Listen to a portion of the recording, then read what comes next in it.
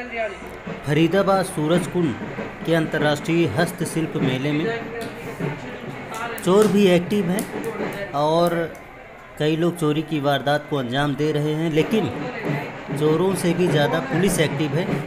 ये एक चोर देखिए किस तरह से सूरजकुंड मेले में चोरी कर रहा है।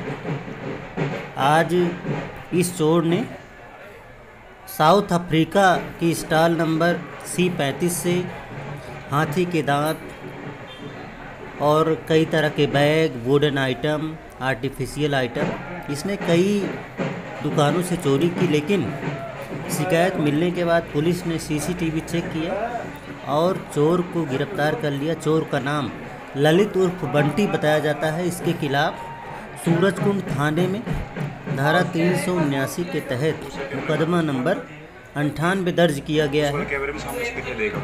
पुलिस ने